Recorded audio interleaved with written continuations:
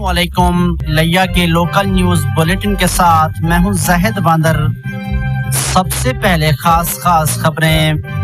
Chairman ضلع council ملک عمر علی اولا کا تھل ہسپتال میں ہیلتھ کنونشن کے تحت لگائے گئے اگاہی طبی سٹالز کا معائنہ۔ صحت کی سہولیات پہنچانے میں ایک قدم قرار دیا۔ Deputy opposition leader Punjab assembly کی قیادت میں سیاسی نمائندوں، کاشتکاروں کی ڈپٹی کمشنر سے ملاقات، گنے کی قیمت اور دیگر مشکلات کے حل بارے گفتگو کی۔ تھال ہسپتال میں ہیلتھ کارڈ کی تقسیم کا عمل جاری۔ چیئرمین میونسپل کمیٹی حافظ جمیل احمد نے کارڈ تقسیم کیے۔ اور بلیٹن میں شامل ہے موسم کا احوال۔ اب خبریں تفصیل کے ساتھ۔ چیئرمین ضلع کونسل ملک عمر علی اولک نے تھل ہسپتال میں ہیلتھ کنونشن کے تحت لگائے گئے اگاہی طبی سٹالز کا معائنہ کیا۔ اس موقع پر گفتگو کرتے ہوئے انہوں نے کہا کہ ہیلتھ کنونشن ویک دستیاب طبی سہولیات اور اگاہی مہم یقیناً دور رس نتائج کا حامل پروگرام ہے۔ جس کے لیے دور دراز دیہی علاقوں کے مکینوں کو خصوصی طور پر مستفید ہونے کے لیے طبی عملہ بھرپور خدمات سر انجام دے رہا ہے۔ چیئرمین ضلع کونسل نے کہا کہ ہیلتھ کنونشن پروگرام یقیناً طبی سہولیات کی مؤثر فراہمی اور عوامی اعتماد کو بہتر بنانے کی جانب اہم پیش رفت ہے۔ اس موقع پر سی ای او صحت doctor Amir Abdullah Samtia, focal person doctor Atiq Rehman M S doctor Khadim Hussain Qureshi, D M S doctor Awais, principal model high school Ghulam Farooq Alvi اور ملک صادق جکڑ بھی ان کے ہمراہ تھے۔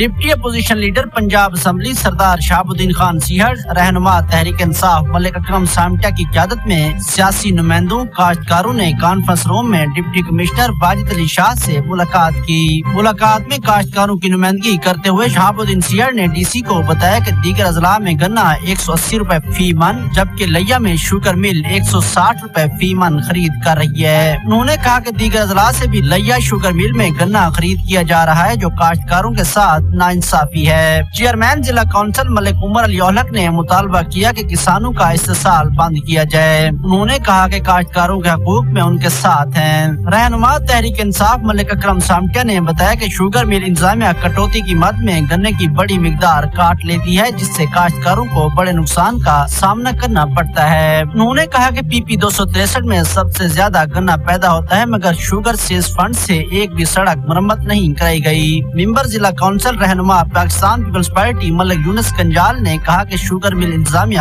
کاشتکاروں کے مسائل حل کرنے کے وعدے کرتی ہے، مگر ان پر عمل درآمد نہیں کرتی۔ میٹنگ میں کاشتکاروں نے بھی اپنے مسائل سے آگاہ کیا۔ جنرل منیجر شوگر مل نے کاشتکاروں کے مسائل حل کرنے کے لیے ڈی سی سے سفارش کی کہ ایک نمائندہ مقرر کیا جائے جو کاشتکاروں کے مسائل پر نظر رکھے۔ ڈی سی نے گنے کے کاشتکاروں کو اعلیٰ سطحی پر حل کرنے کی یقین دہانی بھی کرائی۔ اس موقع پر پاکستان پیپلز پارٹی کے سٹی صدر شیخ خرم طارق سمیت دیگر رہنما بھی موجود تھے۔ چیئرمین میونسپل کمیٹی لیا حافظ جمیل احمد نے کہا کہ ہیلتھ کارڈ سے مستحق افراد کو علاج معالجہ کے لیے حکومتی امداد ایک بھرپور اور مستحسن اقدام ہے۔ یہ بات انہوں نے تھل اسپتال میں ہیلتھ کارڈ تقسیم کرنے کے موقع پر کہی۔ سی او صحت doctor Amir Abdullah Samtia, M S doctor Khadim Hussain Qureshi بھی اس موقع پر موجود تھے۔ ہیلتھ کارڈ تقسیم کرنے کے حوالے سے منعقدہ تقریب میں chairman M C, councillor Muhammad Ali Raza Chandi, Sheikh Khalid Iqbal نے بھی مستحقین میں ہیلتھ کارڈ تقسیم کیے۔ بعد ازاں چیئرمین نے سی او صحت ایم ایس اور کونسلرز کے عمرہ تھال اسپتال کا معائنہ کیا اور مریضوں کی خیریت دریافت کی موسم۔ محکمہ موسمیات کے مطابق لیا اور گرد و نواح میں کل اسمان پر بادل چھے رہیں گے۔ تاہم، بارش کا کوئی امکان ظاہر نہیں کیا جا رہا۔ آج لیا کا زیادہ سے زیادہ درجہ حرارت چھبیس سینٹی گریڈ، جبکہ کم سے کم پانچ سینٹی گریڈ تک ریکارڈ کیا گیا۔ اس کے ساتھ ہی نیوز بلیٹن اپنے اختتام کو پہنچا۔ اگلے بلیٹن تک اجازت دیجیے اللہ نگہبان